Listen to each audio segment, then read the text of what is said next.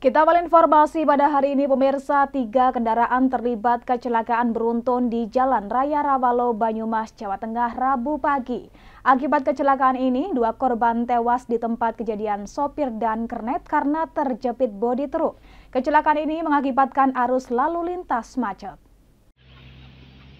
Kecelakaan beruntun melibatkan tiga kendaraan truk bak nomor polisi AD 9417 CV Tronton nomor polisi S9157UH serta truk bak nomor polisi AA8237OK.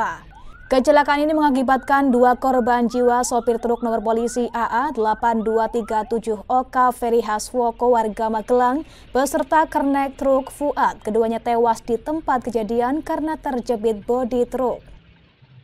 Baik untuk kronologi adanya kecelakaan lalu lintas yang terjadi pada pukul 03.00 waktu Indonesia Barat tepatnya di Jalan Marga Sana yang melibatkan tiga kendaraan. Adapun kronologi pertama untuk kendaraan truk mengangkut beras latah as, kemudian di searah di belakangnya ada kendaraan truk menabrak dari belakang kemudian disusul kendaraan lainnya.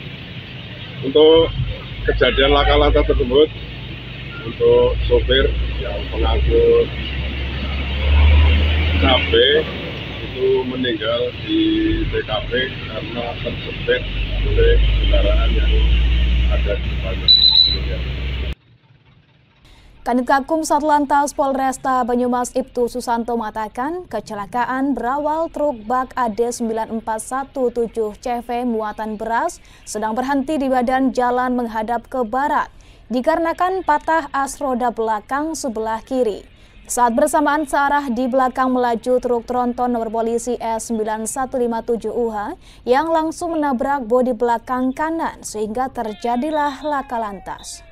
Saat bersamaan di belakang tronton melaju truk nomor polisi AA 8237 OK bermuatan cabai menabrak bodi belakang truk tronton tersebut sehingga terjadilah laka lantas kedua. Evakuasi kedua korban memakan waktu lama karena keduanya terjepit bodi truk. Setelahnya kedua korban dibawa ke puskesmas terdekat guna pemeriksaan. Kasus kecelakaan beruntun dalam penanganan Satuan Lalu Lintas Polresta Banyumas. Jalur Selatan Bandung Yogyakarta kembali normal setelah ketiga kendaraan yang rusak terlibat kecelakaan dievakuasi ke tepi jalan. Dari Banyumas, Marnoto, Banyumas TV melaporkan.